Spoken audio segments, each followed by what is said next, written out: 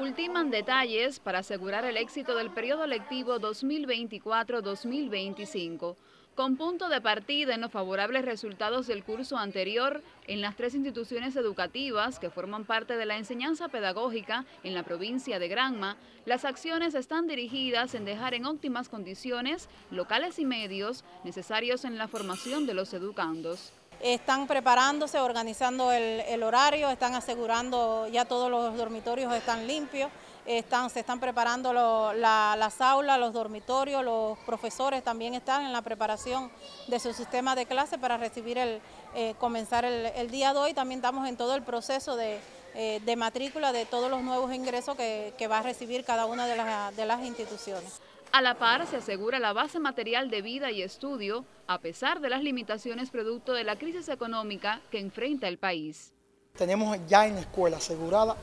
toda la base material de estudio, de perfeccionamiento para, todo el nivel educativo, la formación pedagógica. Un uniforme, que es el que tenemos a la mano en este momento, y cuando la industria nos cumpla, nos llegue el uniforme de pase eh, que complete, pues le daremos los dos uniformes, la sábana, y también estamos en espera de que entren, la, en que entren las toallas. Se ha asegurado también ya la alimentación en las medidas posibles en que la provincia pueda eh, trabajar con este aspecto. Para el nuevo curso, la enseñanza pedagógica dispone de la cobertura docente con un personal altamente calificado a fin de asegurar la formación de los más de 2.600 educandos matriculados en 16 especialidades. Nos permite formar hoy a maestros para ocho especialidades que son maestros primarios, maestros primarios para inglés, educador de primera infancia, maestro de educación especial,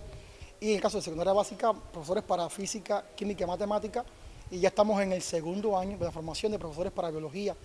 para la secundaria básica en sentido general. Logramos concebir un proceso de preparación metodológica que responde a sus necesidades y que por supuesto tiene como antesala la evaluación profesoral, donde fueron señalados los principales elementos que en el orden metodológico está, estuvieron afectándonos de alguna forma los resultados esperados o comprometidos por parte del personal docente. Para el nuevo curso escolar espero cosas nuevas e innovadoras